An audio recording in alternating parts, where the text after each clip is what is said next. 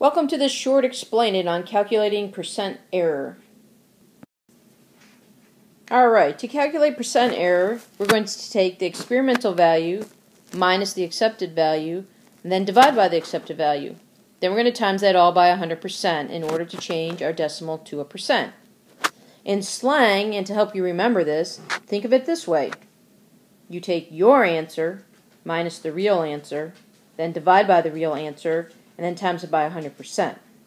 All right, let's do a for example. A student calculates the density of an object to be 1.40 grams per milliliter. The accepted value is 1.30. What is the percent error? All right, instead of me rewriting the whole formula, which is good practice, we're going to use this formula. We're going to plug in the numbers. So our percent error is going to be equal to the experimental value, which is right here, 1.40.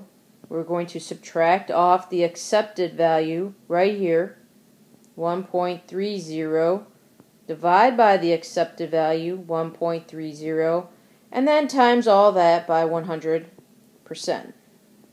All right, plug that into the calculator, and you should get a number that is equal to 7.7 percent. And that is how you calculate percent error.